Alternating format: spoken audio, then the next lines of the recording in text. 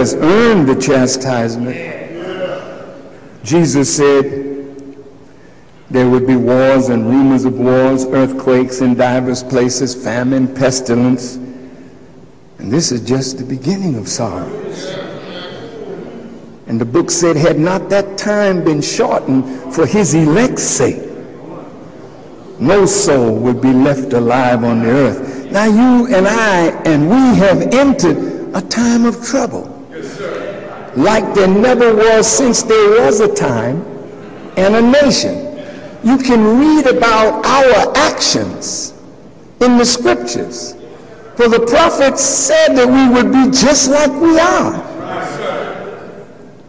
And if we don't make a change, we will suffer a terrible, terrible chastisement from God. So America has entered that time of trouble. Says in that time Michael, the archangel, would rise to stand for his people. Uh, I was sitting one day with the messenger, the Honorable Elijah Muhammad, and I reported something to him at the table with some of his laborers. And he knocked on some glass, and he wanted them to listen to what God had shown me in an out of the body experience of the Pope of Rome. And when I finished, he said to me, Brother, God has shown you the mind of his and my worst enemy. And then he asked, Brother, did you know that you were an angel? I said, No, sir, dear apostle. Well, what is an angel?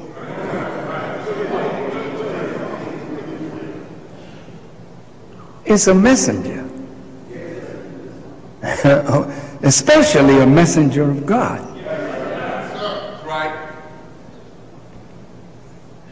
The Bible tells us to be careful how we entertain strangers. For we may be entertaining angels unaware. So angels are human beings like yourself.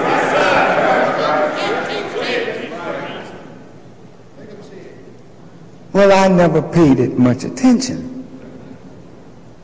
You know, he says things, you listen and you're frightened by what he says,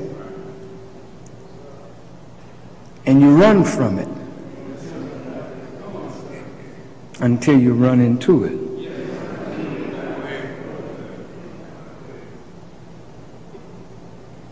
America has earned destruction. We have 135 countries where America has soldiers. Out of 192 countries on the earth, America has soldiers in 135. She has bases in most of these countries. Did you know that America has gone throughout the world threatening nations with a pullback of military assistance and other forms of aid unless they signed a document saying that they will never bring an American citizen before the International Criminal Court.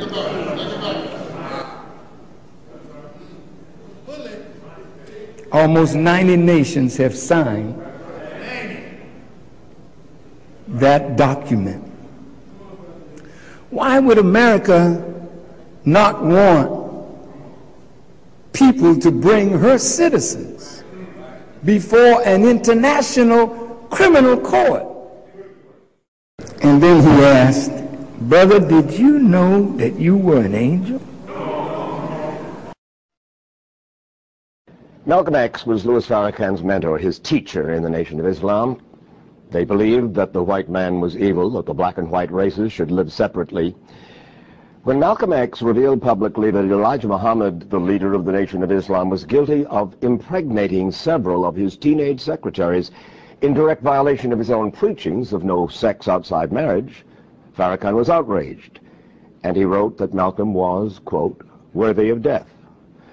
On February 21, 1965, as Malcolm spoke in New York City's Audubon Ballroom, members of the Nation of Islam opened fire, killing him in front of hundreds of his supporters.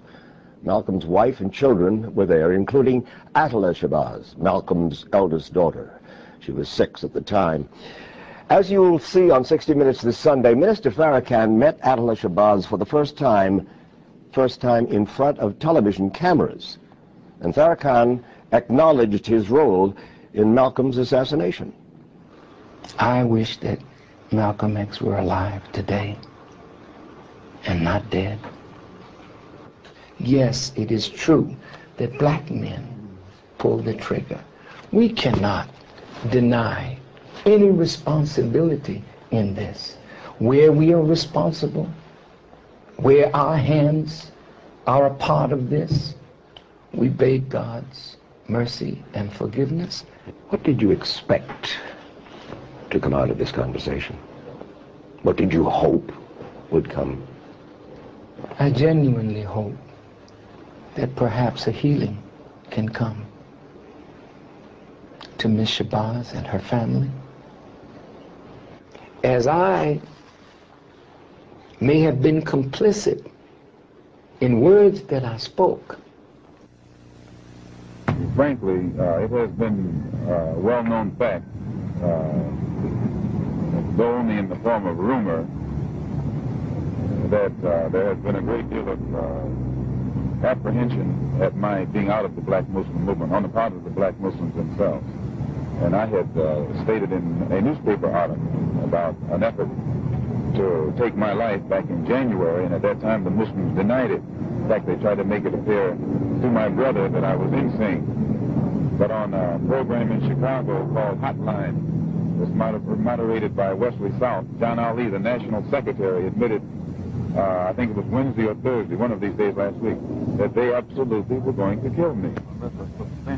Why are they threatening your life? Well, uh, primarily because they're afraid that I will tell the real reason that they've been, that I'm out of the black Muslim movement, which I never told. I kept to myself. But the real, real reason is that Elijah Muhammad, the head of the movement, is the father of eight children by six different teenage girls, different uh, six different teenage girls who were his private personal secretary. Uh, four of them had one child apiece by him, uh, two of them had two children, and one of those two is pregnant right now in Los Angeles uh, with his uh, third child. And uh, the, the one who first made me aware of this was Wallace Muhammad, Mr. Muhammad's son.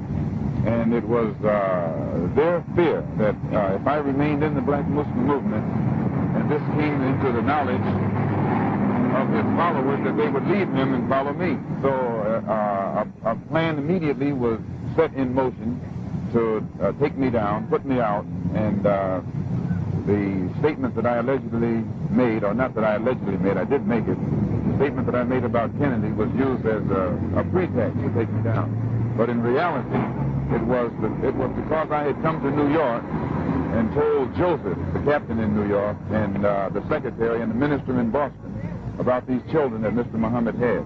And it was that, that right there was the real reason for my being out of the movie. Did you what get out of will you take to protect yourself from this threat? I take no steps. I have a rifle. If anybody comes to my house without a good reason, I, I intend to try and use it. Uh, and that's all.